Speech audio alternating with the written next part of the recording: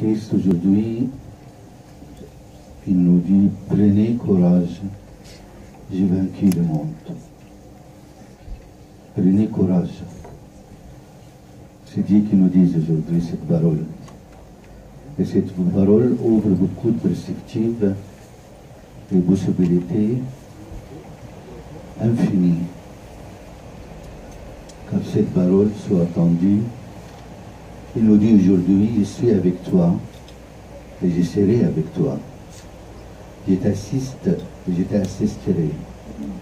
Je te soutiens et je te soutiendrai. Je t'approuve, je te protège et je te protégerai. Il nous dit aujourd'hui, tu es dans mes mains et dans la bonne voie. Prenez courage, c'est-à-dire vraiment puiser dans nos ressources de foi. Se rappeler en qui on croit, en qui et en quoi nous croyons, notre foi. Et c'est apprendre l'appui, vraiment l'appui sur les bras même de Dieu.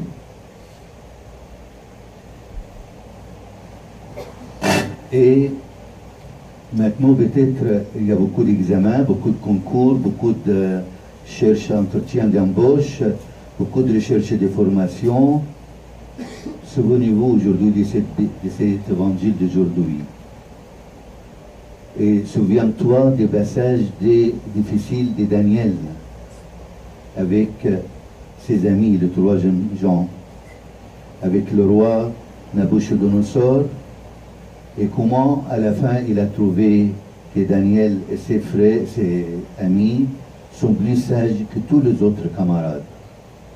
Pourquoi? Parce que Daniel et le troisième Jean sont, mis, sont trouvés entièrement leur, sont laissés entièrement leur cœur dans les mains du Seigneur. Ils étaient fidèles au Seigneur. Tu dois faire ton bar, étudier sérieusement, travailler avec fidélité, prenez du temps pour prier, servir dans l'église ou avec les frères du Seigneur, aussi fidèlement que possible. Et n'oublie pas qu'il n'y a pas de mur entre nous et le Seigneur. Plus de mur. Il n'y a pas d'obstacle entre nous et le Seigneur. Il est avec nous. Où nous soyons, il est avec nous. Et il est notre allié, vrai allié, allié fidèle jusqu'au bout. Peut-être il est invisible, mais il est présent. Peut-être on ne le voit pas, mais il est présent parmi nous. Aujourd'hui, le Christ nous dit, prenez courage.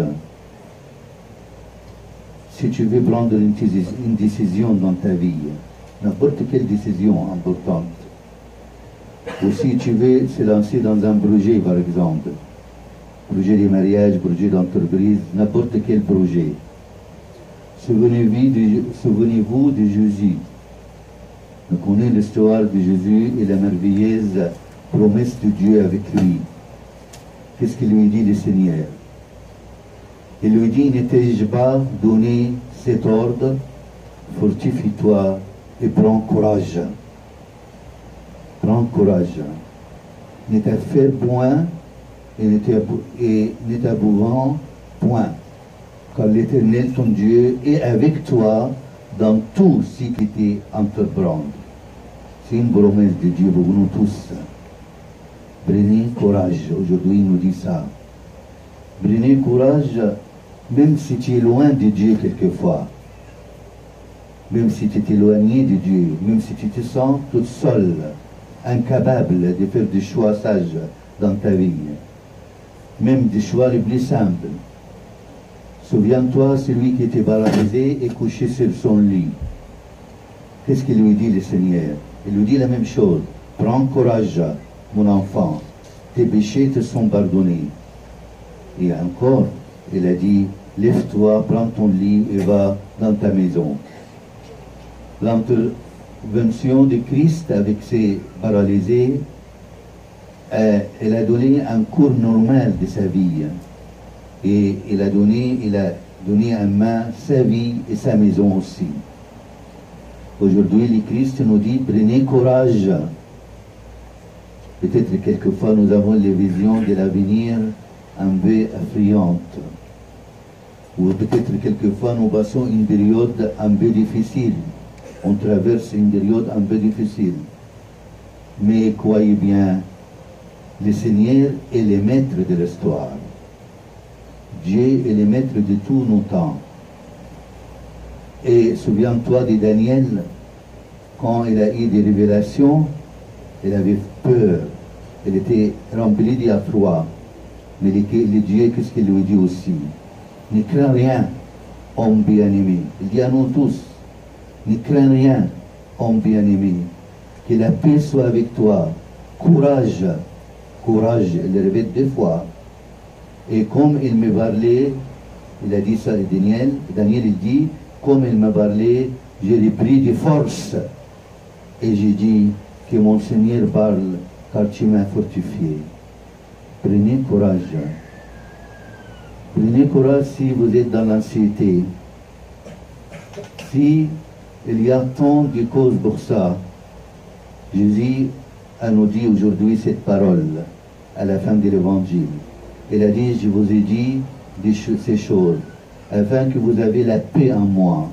Vous aurez, vous aurez des tribulations dans le monde, mais prenez courage, j'ai vaincu le monde. Aujourd'hui, il y a un message de Christ pour tous les parents, pour tous les éducateurs, pour tous les adultes. Il nous demande d'encourager nos enfants, soit dans la maison ou dans l'église ou autour de nous. Donner à nos enfants la confiance qu'ils doivent avoir dans le Seigneur Jésus-Christ.